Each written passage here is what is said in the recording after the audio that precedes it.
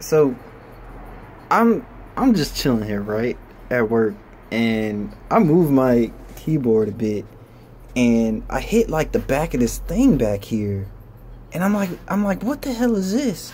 So I pull it out and it's a it's a it's a old school mind you this video is made 2019 it's an old school ds like the original hang on check this shit out it's it's an original fucking ds and it's got it's got hatsune miku on on the cover of it and you open it and it's it's got hatsune miku all over it now already I respect this dude, whoever this is, but I guarantee you nobody that works with me fucking is down with Hatsune Miku.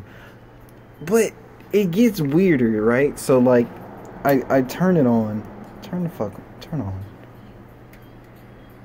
Did you do it? Turn on. I gotta press her eye.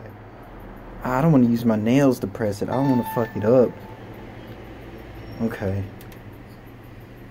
And I'm like, okay, what what what games does this dude have on here?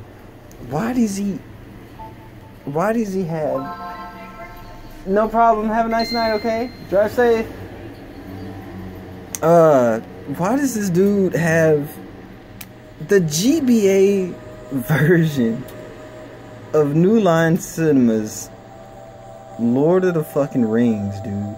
Who who buys that? And who still wants to play that in 2019 in the original cartridge form. And and after that I was like okay all right no there there has to be more to it um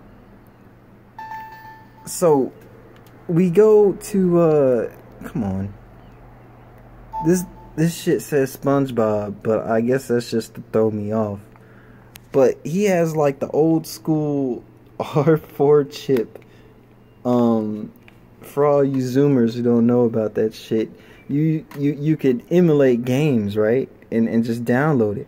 But these games are like, dude, the Ninja Turtles, Star Wars, like like what? Wreck It Ralph.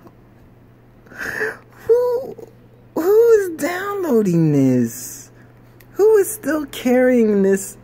Who is still a grown man to be in this parking lot in in in in like of this office building and still play this? And why is this in my booth? Oh man, these girls drunk. I I don't know. Um if you own this DS, man, uh you know, fess up. I want to return it to you cuz obviously this is something you care about. Oh my god.